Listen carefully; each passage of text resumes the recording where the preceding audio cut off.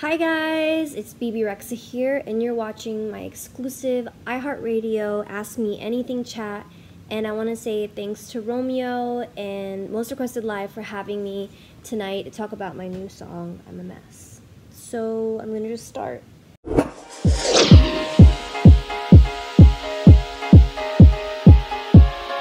Um, by the way, I'm in bed. And I got my Minnie Mouse pajamas. Alright.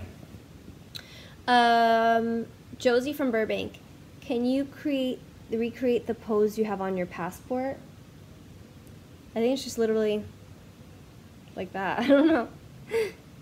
Um, Tama from Cornwall, how was your VMA experience? Love ya. Um, it was really awesome. It was tons of fun, and I saw a lot of my friends, and I thought the performances were incredible. I loved Camila's performance. Oh, I loved Shawn's performance. That was amazing. They were all so incredible. So um, that was uh, a lot of fun. Um, and yeah, I had my family there too, so that was cool.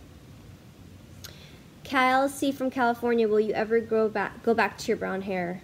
Um, yeah, I'm trying to actually like grow a little bit of out it out right now, just to kind of make it healthier, cause um, it's so unhealthy right now. But um, maybe one day, not just yet though. Um, Tyler from Philadelphia, hey Bebe. I want to know what the story behind Shining Star is. It's a pretty dark song, and I know you write. I know you write personally. Have you been the girl in the story? Yeah, um, uh, for sure.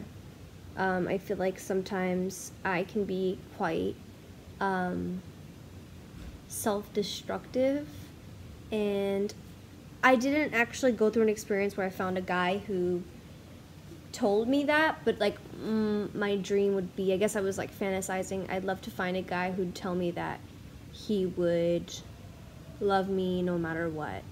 So I think that story was kind of based off of me personally um, and not being perfect and kind of being, you know, chaotic and like imperfect and wanting to find somebody that will just like love me the way that I am. So that's the answer. Um, Maggie from Duluth. If you're on Family Feud with Steve Harvey, who are your four teammates and who are you going up against? That's really good.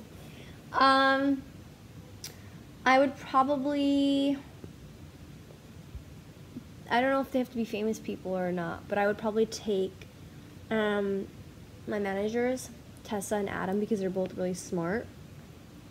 I would take my brother Flo because he's funny. So that's three. You do four or five? Five, right? Five. Mm-hmm. So um, Tessa, Adam, Flo, me, and Bear. She'd be the first dog on the show. Who would I go up against? Um, I don't know. Probably somebody super funny. Um, Diplo. I don't know, just because I saw his Instagram before I came on here, so I was post. So yeah. Um, Hannah from New York. What is the dumbest way you've been injured? I don't know. I mean, I, I constantly, uh, I also bump into a lot of things. Um, I guess recently I was cutting a lemon, I think. I don't remember what it was, but I was cutting a lemon and I was being really dumb with it. Like, so I. I accidentally cut my finger and I thought that was really stupid and I knew that I was not doing it right. I was just being like really I was like trying to be quick and that was dumb, but whatever. Um Ivana from Beirut. Do you know that we got your back no matter what? What's that not a was that well that's not a question, but just so you can know that we're not only your fans, we're also your family, and you'd be proud of us. We'll get it. You're a living legend. That's really cute. I really love that. Thank you. That was really sweet. I really love that. Thank you guys. That makes me feel so good. Because sometimes I like read stuff on the internet and it's like so mean, and I'm like, this just makes me want to never go back on the internet again. Um, so thank you, Ivana. Aldo from Dallas, what is your most beloved memory of your childhood? Be- big fan, love. Big fan, love you. You're the best. Love you too. Um, my favorite, my favorite memory from when I was a child, probably like going to my grandma's house and all the kids would come over, like all my cousins, and I have a lot of cousins, like over 30.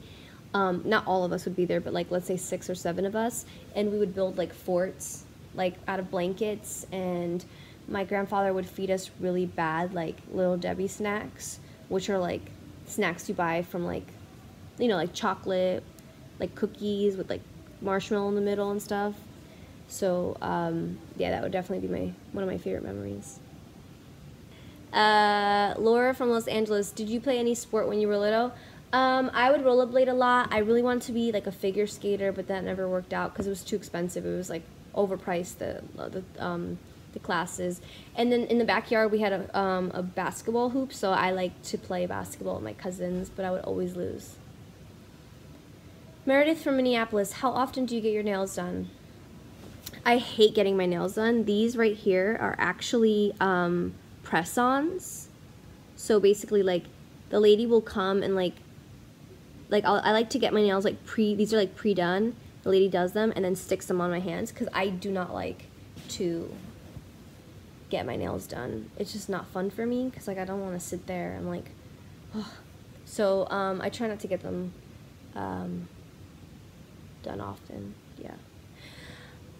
Next. What hair care products do you use? How funny. I have some of it on my bed. This is hilarious. I put it on right before I go to bed. Um, this is kind of expensive, but it's really worth it. And if you don't have like really bad hair, like you could put just a little bit in your hair. But I love this. Oh, can you read? It's backwards. It's I-L-E-S formula. And it's like a ser serum. And I mix that with this. And this is called Mistress Hydrating Balm, Hair Balm by IGK. This is so good. It's like quite pricey.